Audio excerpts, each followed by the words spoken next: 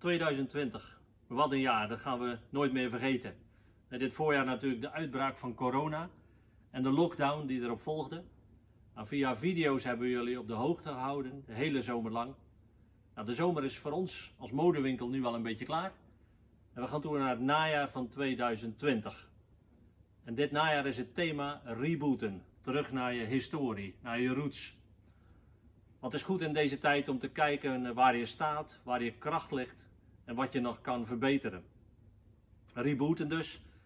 En we hebben al een hele lange historie, dus dat kunnen wij ook. We bestaan al bijna 100 jaar. Van Westermannen is opgericht in 1923.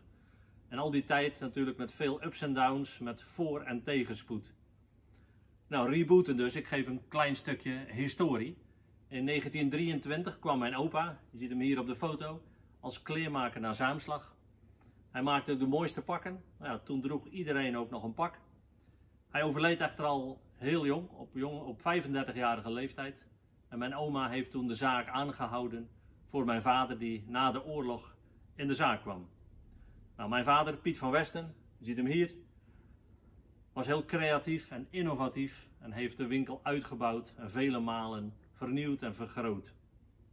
Sinds 1981 ben ik al in het bedrijf en acht jaar later mijn broer Peter.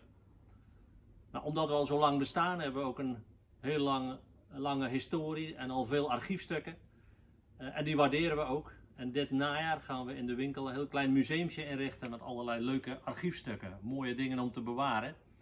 En ik ga jullie een paar dingen laten zien wat we zo al tentoon gaan stellen. Bijvoorbeeld een studieboekje van mijn opa als kleermaker uit 1919. Hier leerde hij dus uit hoe je een mooi pak moet maken. Een hele oude advertentie die ik kreeg van een klant. Een hele tere advertentie. Heel voorzichtig zijn. Een vergunning uit de oorlog om textiel te mogen verkopen. Het Saamslags advertentieblad van net na de oorlog, 1944. Ook heel mooi om te hebben. En bijvoorbeeld een foto hoe de winkel er in 1970, ongeveer de jaren 70 uitzag. Ja, heel anders dan nu natuurlijk. Nou, rebooten dus. Ja, wat bedoel ik daar nou mee? Gaan we dan terug naar de tijd van de kleermaker? Nou tegenwoordig maken we natuurlijk wel wel maatpakken, maar dan op de manier van 2020. En met rebooten bedoelen we alle aandacht voor de klant. Ga je naar een kleermaker, dan sta jij centraal voor het perfecte plaatje, voor een goed advies. En dat hebben we ook voor ogen met rebooten. Dus een heel goed advies, mooie merken, scherpe acties en een hele mooie winkel. En we doen dat met een heel goed team. Ons team is onlangs ook weer uitgebreid.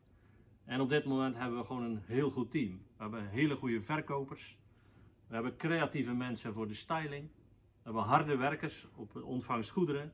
Knappe koppen op het kantoor. En kundige mensen op het atelier. En al die mensen doen elke dag hun uiterste beste om jou als klant te adviseren. Het is echt een vak en dat doen we met hart en ziel. Maar kijk op de webshop voor alle informatie en voor alles wat er in de winkel hangt. Daar zie je ook de openingstijden en de mogelijkheid voor personal shopping. Want dat hoort er in deze coronatijd natuurlijk ook helemaal bij.